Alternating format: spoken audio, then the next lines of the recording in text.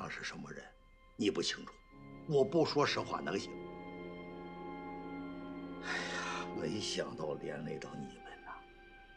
幸亏没出什么大事儿，这事过去了。原来是这样啊！陈老黑还真是恨我呀！看来不整倒我赵家客栈，他是不死心。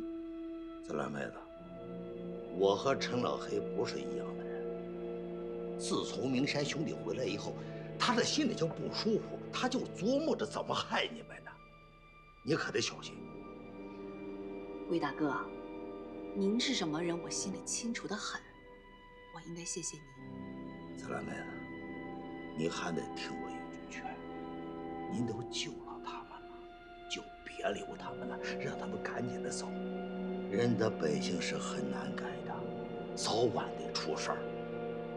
你放心吧，这件事情我会妥善处理。哎呀，事情的经过就是这样的。该死的陈老黑，他知道的事情太多了。看来上次收拾他收拾轻了。你还要收拾他呀？再炸他一回？我觉得现在啊，最好是按兵不动。我赞成。潜伏才是咱们的第一任务。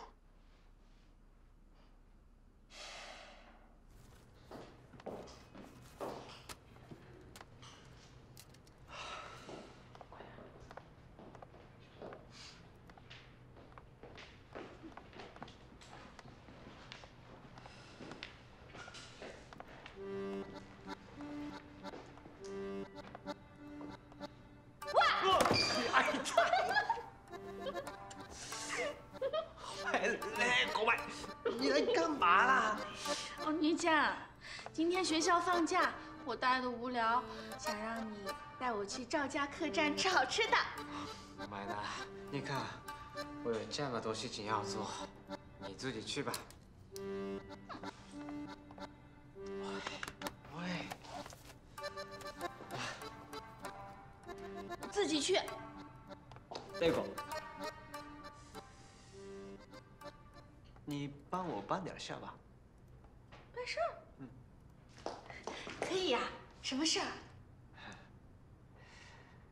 客家那几个厨子，他们不是什么本分的，你帮我盯着点，看看他们有什么不对劲儿，给我汇报吧。拜托啦！好吧。服务生，点菜。等会儿，等会儿，等会儿，等会儿。林小姐，您喝茶。那个有什么事儿，您一定第一时间吩咐我啊！谢谢，不客气，不客气，不客气。您您喝点，您喝，您喝点。好吧。啊，妹子，咋了？你说，你说啥？你叫我啊？嗯，是啊。咋了？有事你就说。没事儿，就是看你啊，伺候的真周到。那是，我告诉你，林子小姐，那是村上司令的妹妹。你这要是万一没伺候好，他回去跟他哥一说，你不给咱老板找麻烦吗？点菜去了啊！哎，紫兰姐，你回来了！哎，紫兰姐姐，您回来了。林子小姐来了，听当家的说你病了，我一直没有时间去看你。怎么样？现在好点没有？我已经好了。我今天来啊，就是想吃赵家客栈的溜肉段。能不能给我做一道啊？当然没有问题啊！后厨来个人。哎，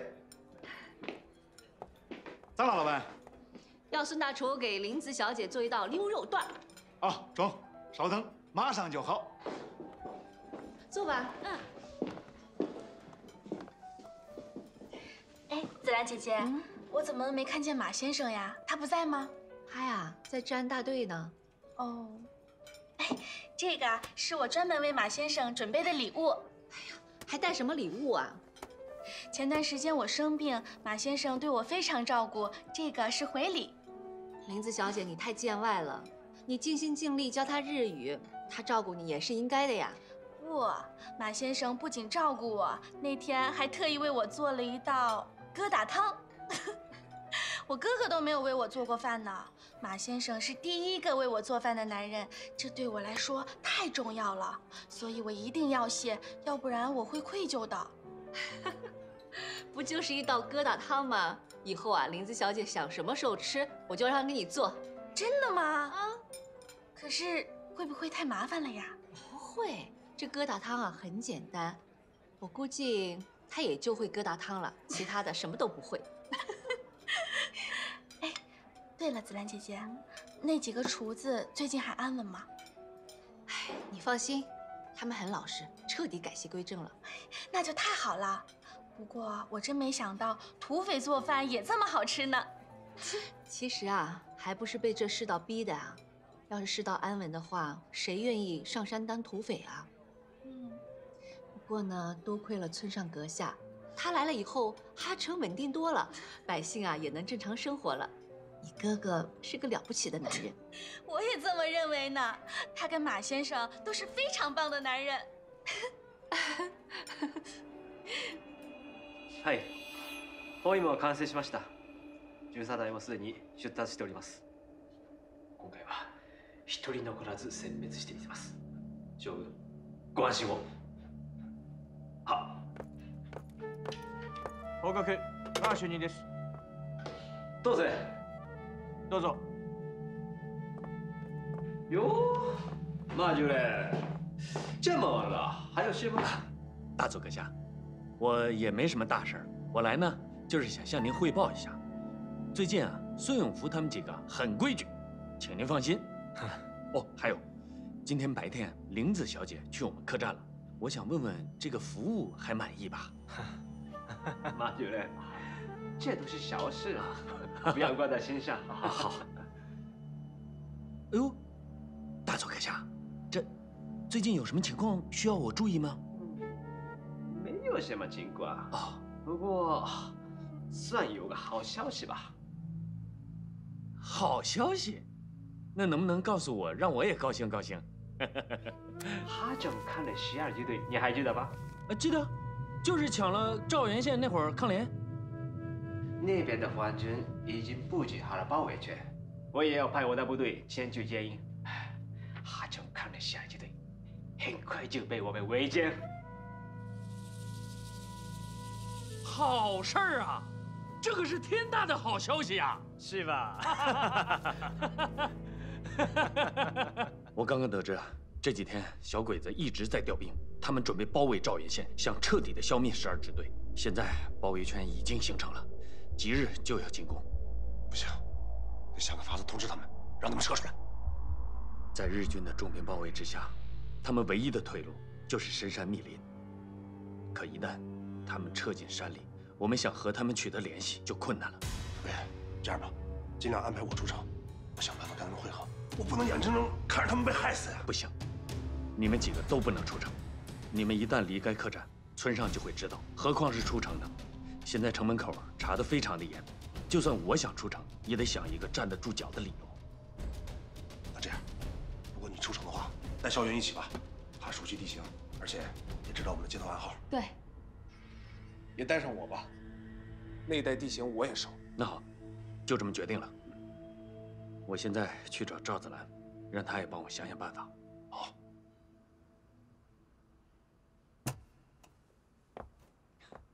子兰，你不是说今天要做好吃的吗？我怎么没有看到啊？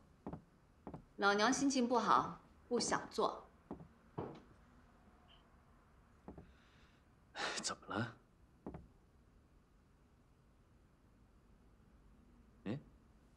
这是要送谁的礼物吗？这是林子送来的，是为了表示某些人的辛苦照顾。是这样啊，你说他还挺客气的。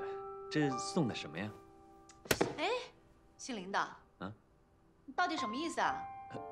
什什，什么什么意思啊？少跟我装糊涂，我问的是林子。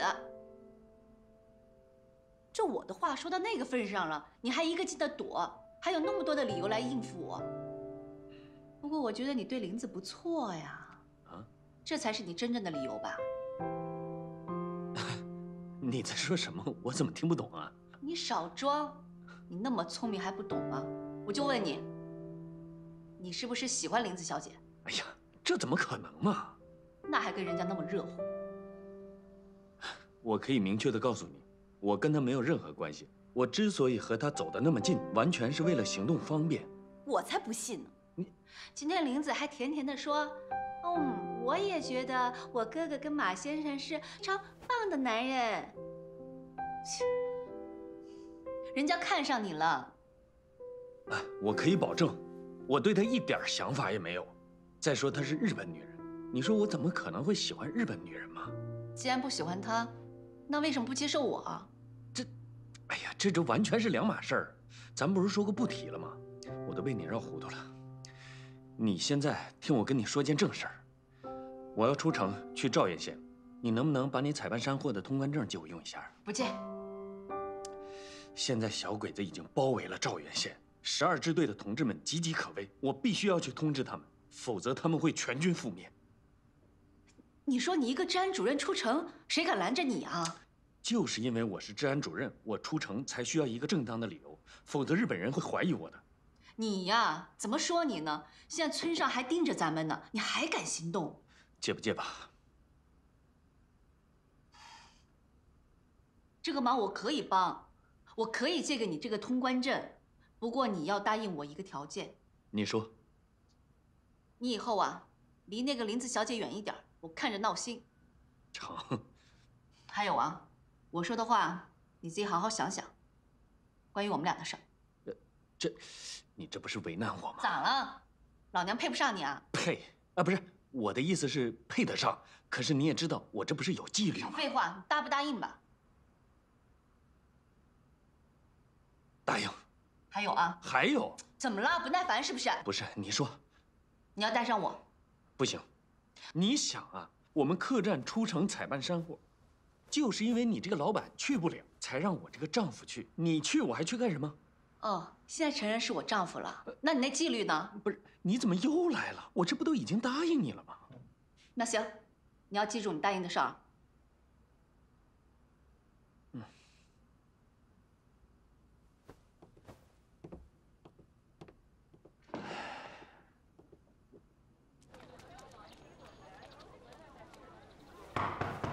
谁啊？干啥？吴小姐，我找你。啊你给我站住！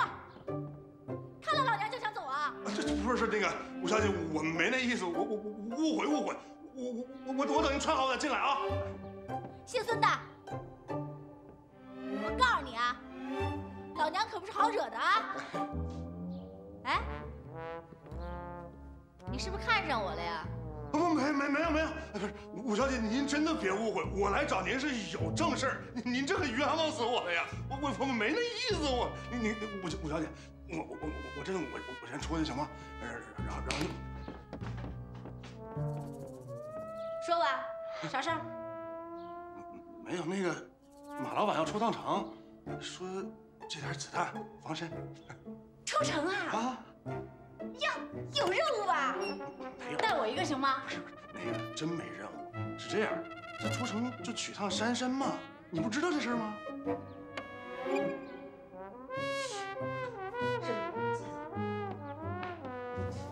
干啥？求子弹。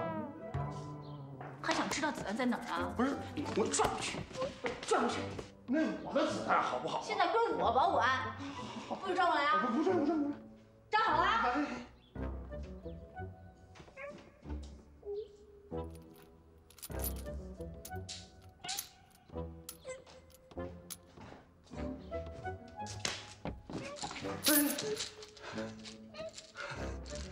够了吗？够，够。还看呢？嗯，没有。好看吗？老娘再换件衣服让你看。哎，不不，我小姐，没那意思。我我我我走了啊！谢谢谢谢啊！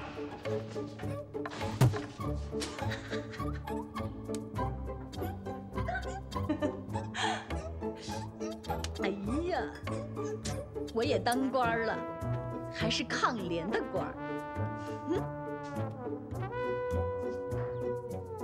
他们有行动怎么不告诉我呀？也不跟我。商量商量。太不把我这个领导放在眼里了。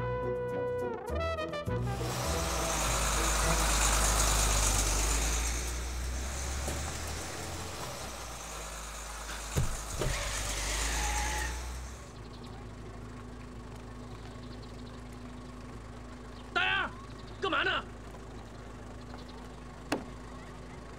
我也出城，搭个车呗。我们不顺道啊。你去哪儿我就去哪儿，咋就不顺道了？你有行动都不给后勤队长说一声，这不是逼我发火？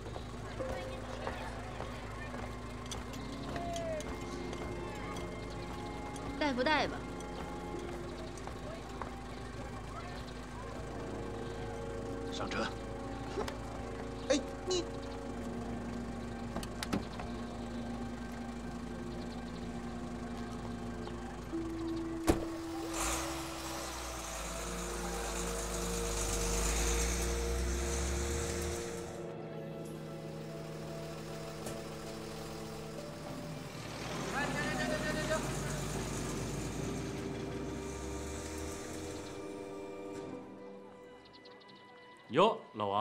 今天你值班啊？是，马主任。嗯，你这出城干嘛去啊？啊，帮我媳妇儿去采办山货，顺便呢帮村上夫人取野山参。哎，那赵老板人呢？啊，他今天感冒了，身体不适，所以呢我就带着几个人帮他去取。哦，行，马主任，来，那你慢点开啊。谢了啊。哎，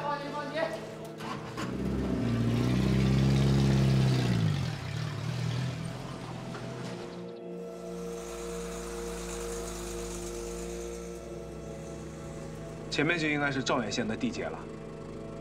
转过前面的蛤蟆山嘴，就到队长说的联络点了，到时候会有人接应，对上暗号就可以接头了。但愿他们还在那里。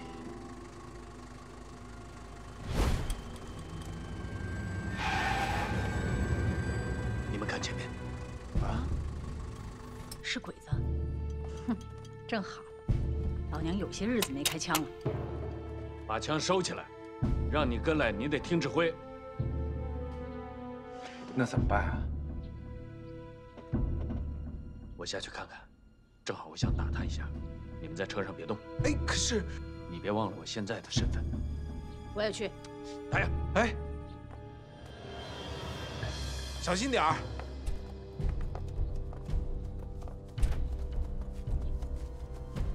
哎，太君，那儿有人哎，那边有人。喂，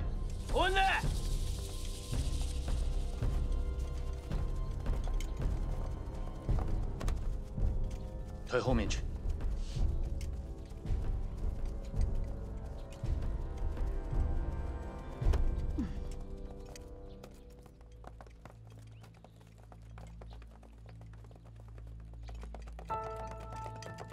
别开枪，自己人。干什么呢？你是？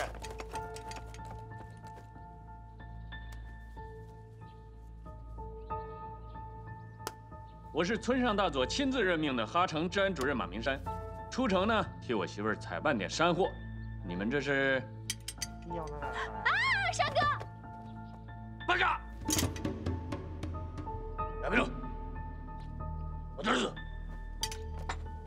ありがとうございます。马主任，你还是尽快的离开的好，否则像是遇上抗联的残暴。有抗联？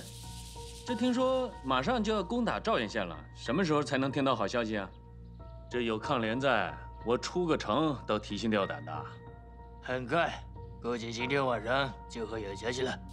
今天晚上，我听村上大佐说，这包围圈不是还没形成呢吗？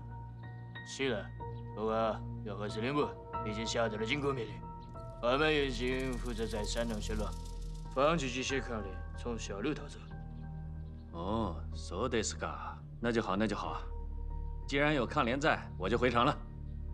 什么时候去了哈城？到我的赵家客栈我请客。没问题。走走走。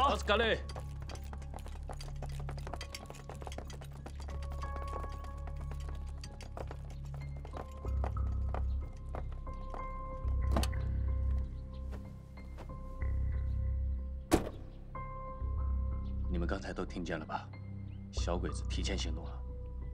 看来十二支队的同志们有危险了。要不干脆跟他们打一家伙？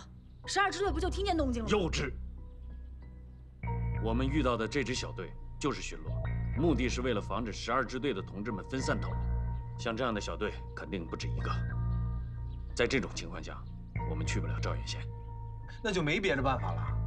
咱们费这么大劲冲趟城，不就是为了联系十二支队吗？别说现在没办法赶到，就是到了也来不及通知城里的十二支队啊。那就只能放弃接应了。事不得已，必须放弃。不是，哎，我腿脚快，你让我跑一趟，我抄近道。我不同意这种无意义的冒险。我还是那句话，我们现在最主要的任务是人和计划，除了人和计划之外的冒险，我都不同意。现在只能寄希望于十二支队的同志们，有能力去化解这次危机了。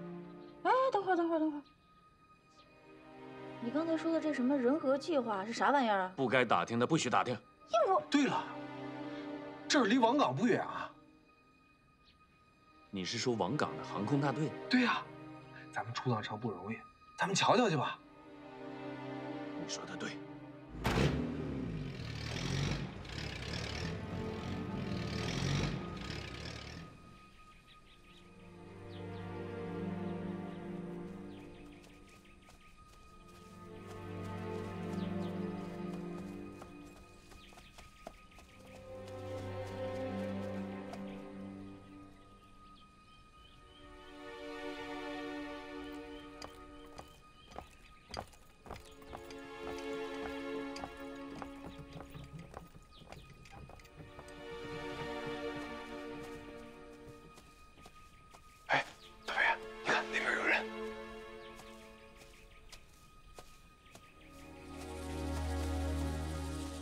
没看时辰，竟遇上这些杂碎。看他们鬼鬼祟祟，肯定没啥好事。快点！跟你说，你一个人跟着他们，如果出现什么事情，我们三个会策应你。到时候你也别乱动，然后看我眼色行事，明白了？知道了，你们小心点儿。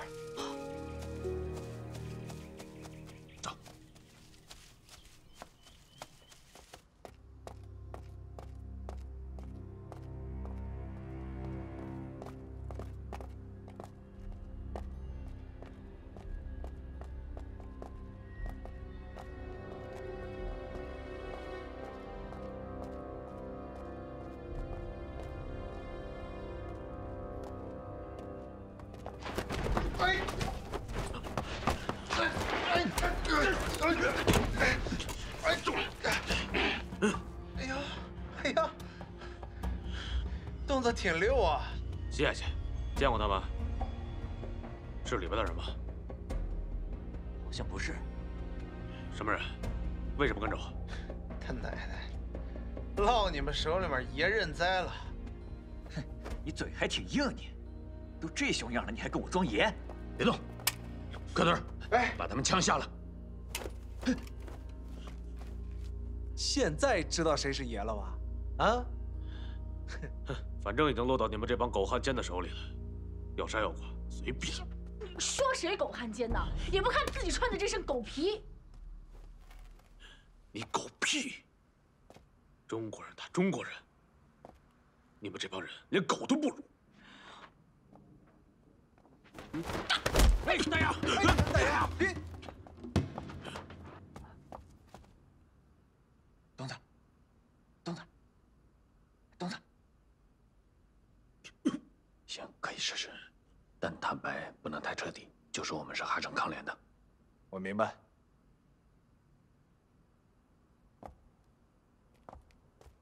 下面我要问的问题，对于你们来说很重要，关系到你们的生死，所以你们一定要如实回答。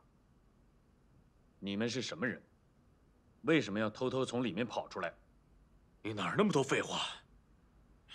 有种开枪！老子做鬼也不会放过你们这帮狗汉奸！嘿嘿，掌柜的，你听他说这话，整的自己跟抗联似的。王家的，别跟他废话，一枪毙了得了。你们一会儿掌柜的，一会儿当家的，匪不像匪，鬼不像鬼，难道你们是抗联的？扯淡！抗联哪有像他们这样的，穿的这么光鲜亮丽？咋了？你见过抗联的呀？我当然见过。那抗联的长啥样啊？抗联都是穿的破衣烂衫、面黄肌瘦的，哪像你们一个个的，啊？哎，你再看看这位大仙儿，把自己整得跟二货似的。我去，你说谁二货？谁二货啊？我就说你是二货！你我哎，别别别别别别！大爷，别动！大爷，别动！大爷，不许胡闹！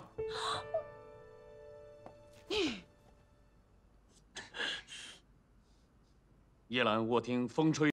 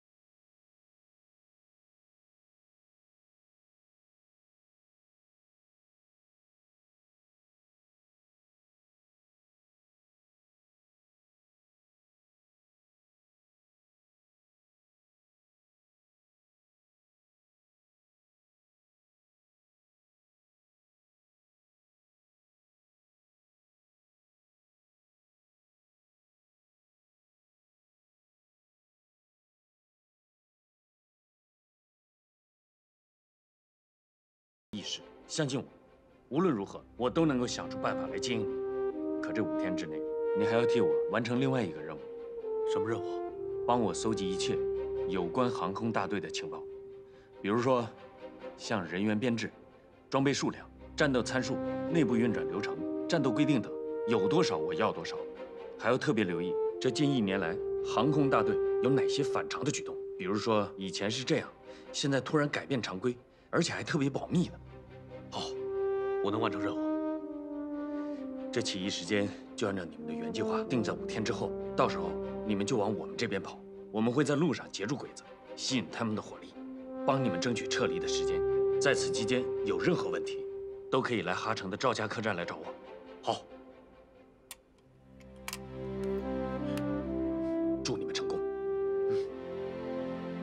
虽然陈虎他们已经凶多吉少了，但是够遇到航空大队的，这也是让人振奋的消息，都是好样的。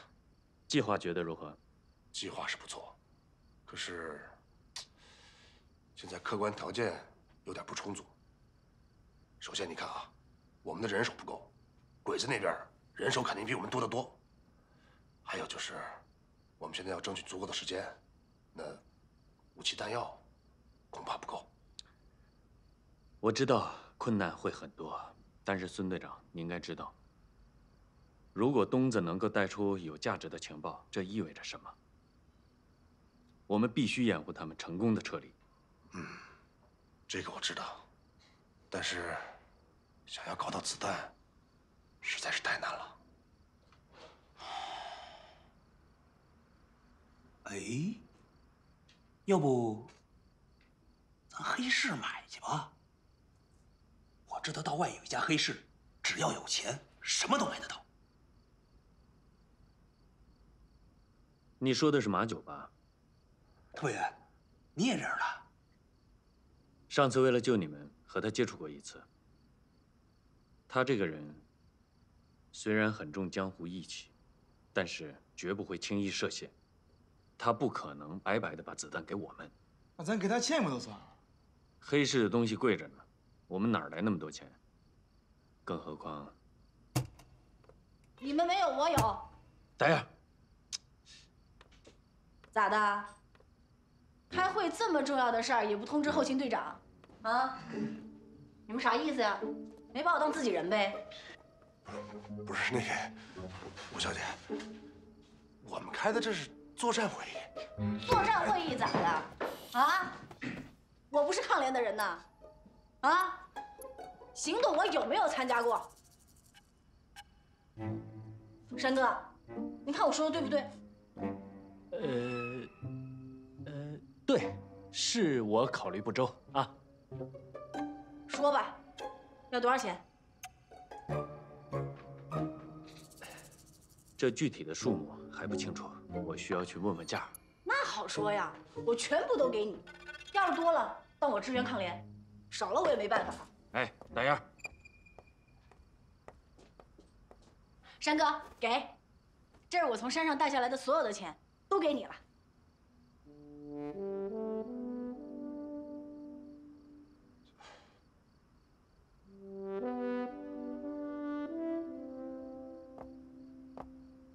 孙队长，哎，你暂时保管。哎，不行不行不行不行，给他可不行，我只相信你。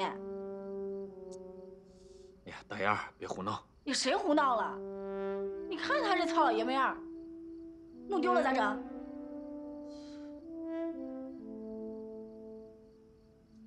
要不这样吧，这钱呢我还拿着啊，回头你们买子弹的时候告我，带我一个不完了吗？行行行，就这么定了。哎哎，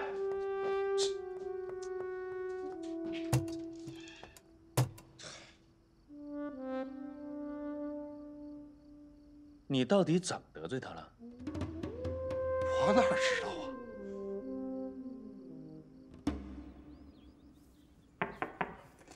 进来。哎子兰，怎么样？弄到子弹了吗？没有，即使有啊，咱们也买不起，太贵了。一条黄鱼一百发，那么贵？你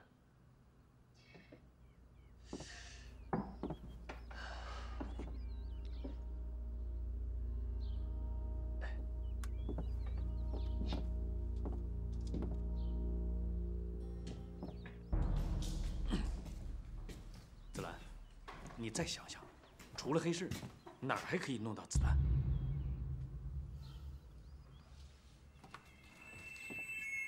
我有个主意，你看能不能到你们治安队想想办法？治安队？对。哎呀，别死心眼儿了，想个由子。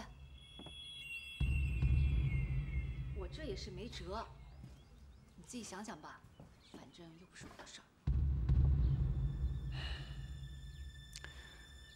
再想想。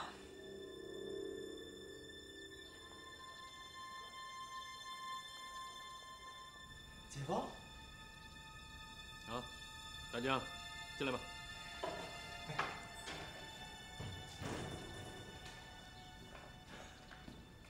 姐夫，嗯，你最近是不是有什么事儿瞒着我呀？没有啊。就告诉我吧，我都听到你说那些话。什么话？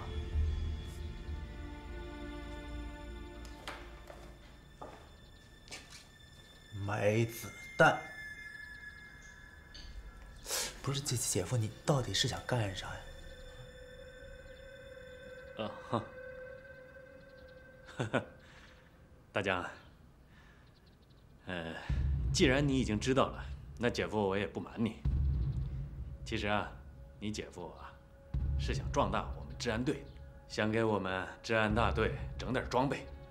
哎，大江，你想想啊，这论实力，我们比不上皇军；论人数呢，我们也比不上皇协军。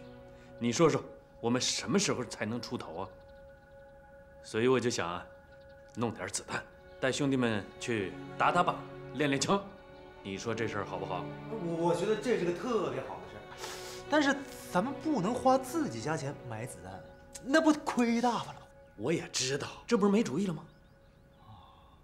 哎，向平，向平，哎，来了。主任，向平，咱们仓库里还有多少颗子弹？没多少子弹，这日本人说我们就是一巡逻的。三个月才发一箱，这箱子弹还是两个月前发的。这弟兄们这枪法能打得准人吗？不行啊，这枪法得练啊。是啊，主任，谁说不是？可是这一发了，每个人不到十发，这怎么练呀？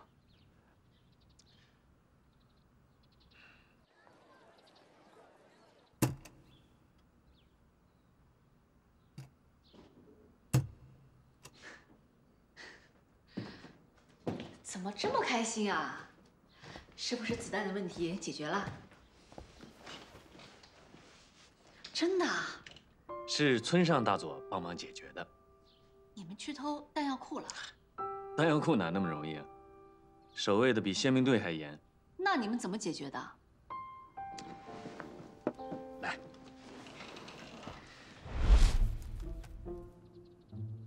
先进子弹。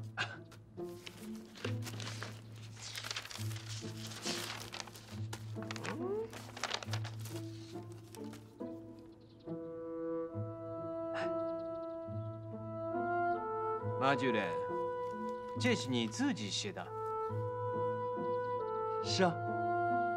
哦，写的不标准，让您见笑了。呃，写的确实不标准，但是在这么短的时间里，你的理论能达到这种的水平，确实不易。すごい，斯巴拉西。那个都是玲子小姐教导有方啊。都是马主任学的好。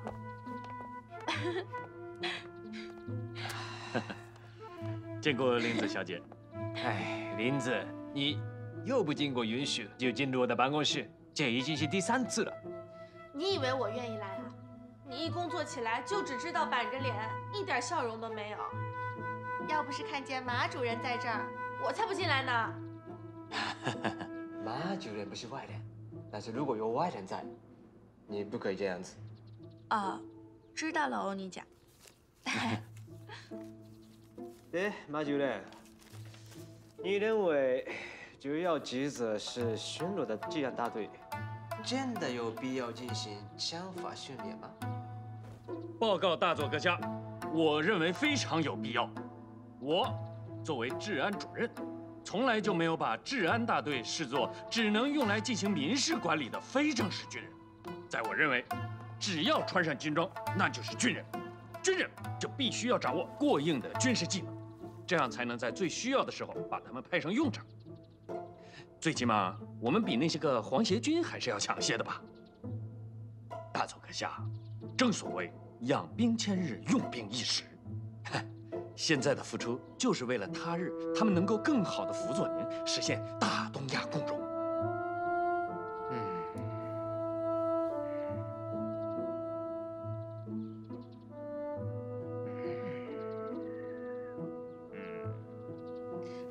欧尼酱，马主任说的对呀，应该让他们进行训练。您不是一直说希望以民治民吗？你想啊，治安大队变得更强大了，是可以帮到您的。好吧，好吧，好吧，嗯，你们说服我了。稍等。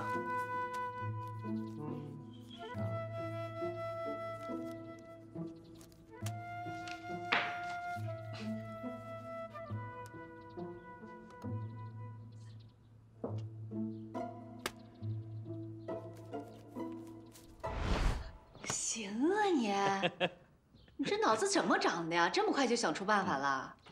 哎，不过你们怎么调包这个子弹？嗯，我打算，办法都在这儿，你就等好消息吧。不会来危险的吧？你放心，现在万事俱备，只欠东风。主任，这就是我们固定的靶场。这回啊，我们换一个靶场，挑一个比较偏一点的地儿。虎头坳，主任，这可是虎头坳啊，这可太偏了。我选择虎头坳，原因有三个。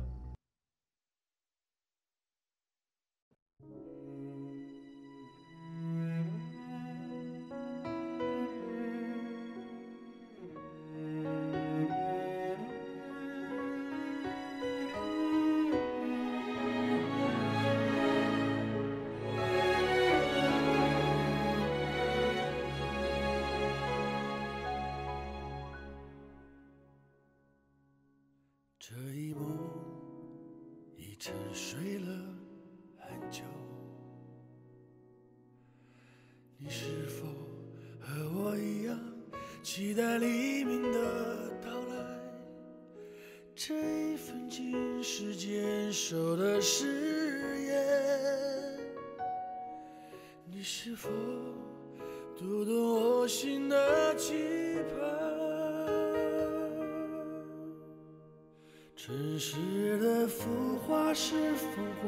中散去的硝烟，红尘纷扰已随风飘，像满地落叶。等风来，洗去昨日尘埃；